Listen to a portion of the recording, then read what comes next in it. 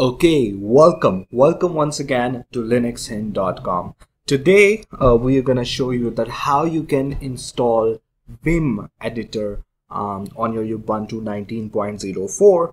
So first of all, basically, let's discuss Vim. What exactly Vim is and what it can do. Okay, so Vim is a highly configurable text editor and it was built to enable efficient text editing. Okay, so it is an improved version of the VI editor previously. So uh, it is distributed with most Unix systems. All right.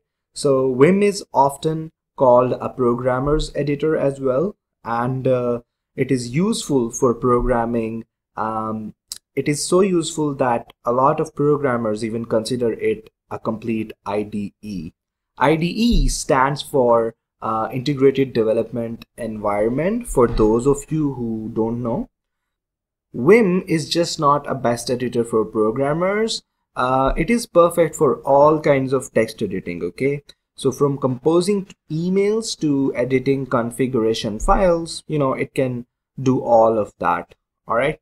So now uh, let's go ahead and let's try to install it. So uh, first of all, we press Ctrl Alt T as we always do and then we're gonna press control shift plus plus. So we try to enlarge this uh, so after zooming in what I'm gonna do here first of all I'm gonna write here sudo apt get update. So you know by doing that by writing this command we basically update our repository. All right so the password wasn't correct so I put in my password again. So now it would basically update the repository okay so once it is updated, after that, we can install Vim by using, you know, just writing down a simple command. So we'd write here sudo apt get install Vim. Okay, that's it. We hit enter and it starts to install Vim.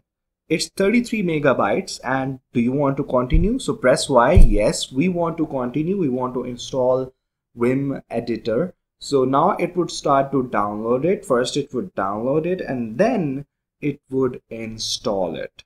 All right so we will wait.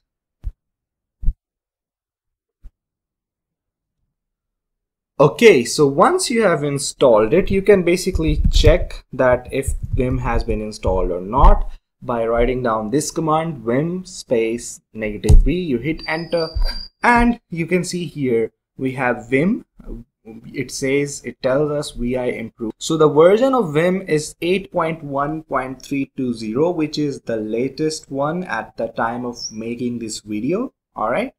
So yeah that's it from this video.